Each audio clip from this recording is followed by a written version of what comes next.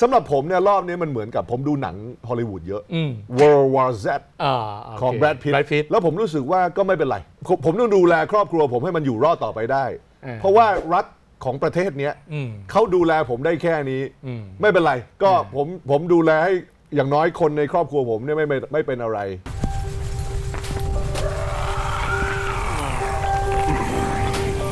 มันเป็น mindset แบบที่ต้องเอาตัวรอด คนอื่นจะเจ๊ง คนอื่นจะตาย คือผมผมผมดูแลเขาไม่ได้ ใช่ใช่คือมันมันกลายมาเป็นอย่างนั้นไงอืม ซึ่งซึ่งมันเป็นสภาพซึ่งค่อนข้างน่า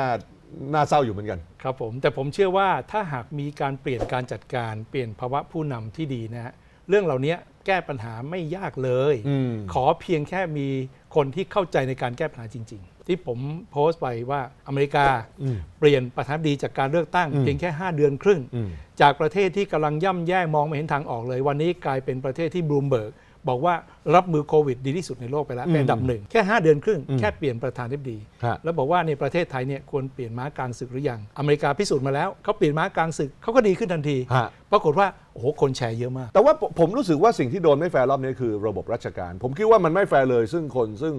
อาจจะไม่เคยทำงานในหน่วยงานราชการเองแล้วก็มาบอกว่าที่ซื้อวัคซีนช้าเนี่ยเพราะว่าหน่วยงานราชการมีขั้นตอนเยอะสำหรับผมมันไม่ใช่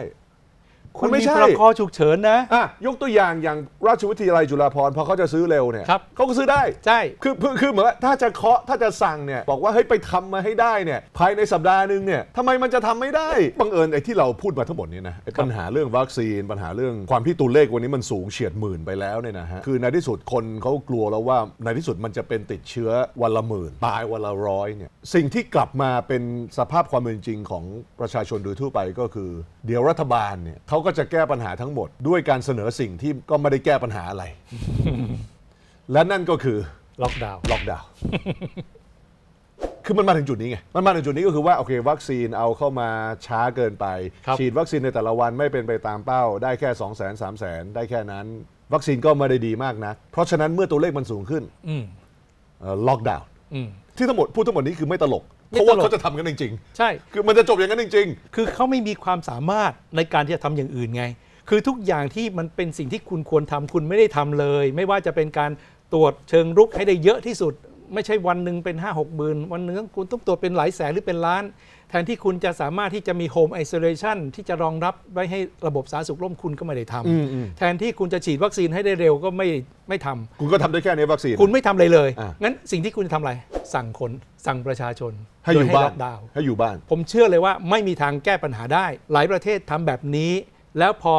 สักพักหนึ่งมันทนไม่ไหวเขาก็ต้องเปิดพอเปิดอีกก็ประบาดอีกอ่ามาเลเซียทำอย่างนี้มาหลายรอบแล้ว อินเดียทำมาแล้วหลายหลายรอบแล้ว ล็อกดาวน์มันไม่มันไม่ยั่งยืน ถ้าคุณไม่ทำอย่างอื่นร่วมด้วอย่างการล็อกดาวน์เฉยๆ โดยที่ไม่มีการตรวจเชิงรุกไม่มีการฉีดวัคซีนอย่างเอาจริงเอาจังไม่มีทางเลยที่คุณจะเปิดได้เลย แล้วประเมินตามสภาพแห่งความเป็นจริงเนี่ยเมื่อตัวเลขมันสูงแล้วเนี่ยล็อกดาวน์ไม่ได้แปลว่าจะกดตัวเลขได้ คือไอ้ความหวังว่าล็อกดาวน์กดตัวเลขได้เนี่ยถ้ามันเป็นอย่างนั้นแล้วมันง่ายขนาดนั้นเนี่ยนะอืมก็ดีอืม คือคุณล็อกดาวน์สองอาทิตย์แล้วกดตัวเลขได้ แต่ถามจริงๆเหอะคือผมไม่เคยเชียร์ล็อกดาวน์เลย เพราะว่าครับ ถึงเวลาผมเชื่อว่ามันกดตัวเลขไม่สำเร็จไม่ได้ แล้วเมื่อมันกดตัวเลขไม่สำเร็จแล้วคุณไงต่ออะวังว่าเราจะสามารถเปลี่ยนม้ากลางศึกได้จริงๆนะผมเชื่ออย่างนั้น